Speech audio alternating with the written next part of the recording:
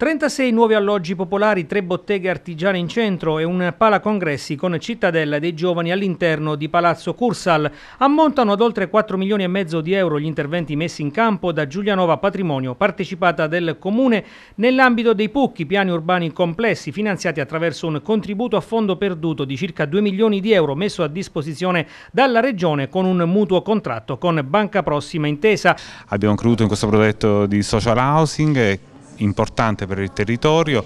che rispecchia un attimo il nostro modus operandi. È un progetto che per noi è una best practice, che vogliamo continuare a replicare sul territorio e che siamo convinti che avrà un risultato di sicuro interesse. Gli interventi saranno portati a termine entro cinque anni. Il sindaco sottolinea l'importanza sociale dei progetti. È un grande progetto, è un progetto che eh, rigenera una parte importante del centro del Lido come Palazzo Cursal, Palazzo Liberty del 1913 che non ha mai avuto la sua destinazione naturale di centro congressi e ora, ora le avrà insieme alla cittadella dei giovani e il centro rinascimentale che con questo intervento completeremo con un altro tassello della sua riqualificazione che abbiamo dato in questi ultimi sette anni, rivitalizzandola e creando opportunità per i giovani e per l'attività. Sicuramente l'intervento più scenografico è quello sul Palazzetto Liberty di Piazza Dalmazia, la struttura che risale al